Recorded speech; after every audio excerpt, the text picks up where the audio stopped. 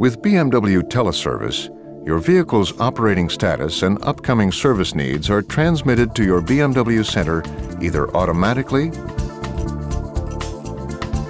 or manually with the push of the Service Request button in the iDrive menu.